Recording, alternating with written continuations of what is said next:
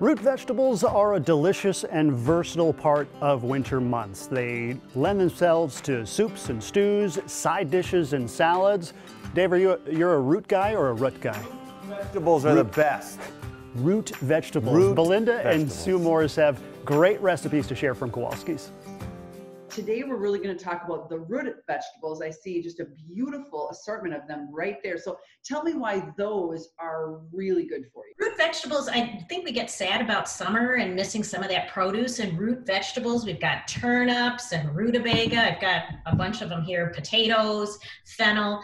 They're so great because of their versatility they're just really great raw or cooked. Some go both ways and they last a long time. So you could buy them and they can be in your refrigerator anywhere from two weeks to a couple of months.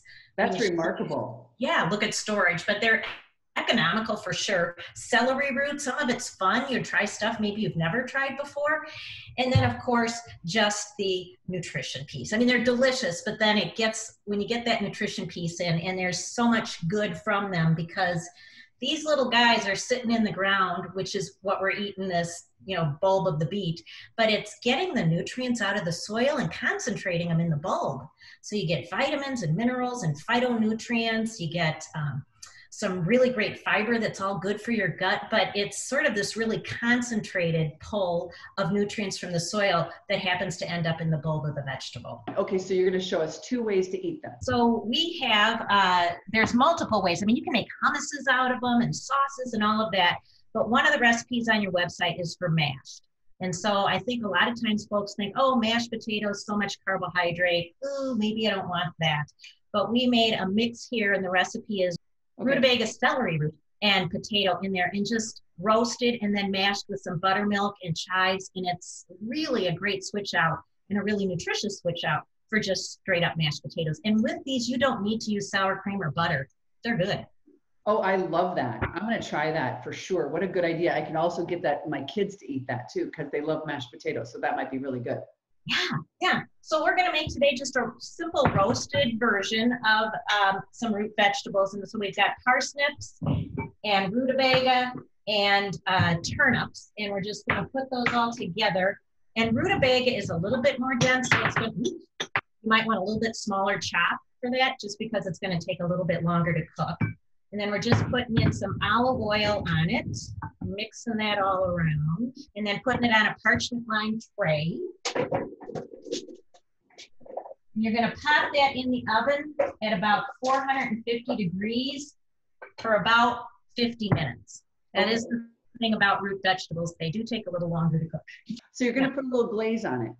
Yep, so then the glaze comes on. So after about 50 minutes in the um, oven, then we're putting in a mixture of fresh thyme, paprika, salt, pepper, uh, a little bit of allspice, and a little bit of cayenne, and a little bit of cinnamon. And again, oh, the rest- wow, that sounds great. Yeah, the recipe's on the website. And then we've got some lemon juice, fresh lemon juice. And I'm just gonna shake that up and then drizzle it over the vegetables here, pop it in the oven for about 10 minutes. And that allows the glaze to sort of absorb into those vegetables. And then we end up with this really wonderful sweet mix of um, root vegetables that will knock your socks off. What we end up with is a lovely meal of those root vegetables and the fresh herb makes it really kind of a little bit of a bite of summer. And then you can partner with any kind of a meat if you want, or go straight up vegetable. But I will say, if folks don't want to do all the slicing and dicing, we've got a root vegetable mix in our deli department that all you have to do is bring it home and heat and eat. It's sweet potatoes oh, and rutabaga. You know what? I have to say that I will actually pay more for that because I feel like I'm going to cut my finger off. I know. I did the rutabaga and the celery root, and you need a really sharp knife and a really good bicep to get in there. well, um, as always, Kowalski's is such a wonderful partner to work with. Sue, we so appreciate this segment. And again, all of this information, is, as you've mentioned, is on KARE11.com. And so get the root vegetables into your diet, right, Sue? All right, you have a great Saturday. Thanks, you as well. And we have that recipe and a link to Kowalski's site on KARE11.com. Text the word recipes to 763 797 7215. Text it, don't call it, to get a link to the recipes page.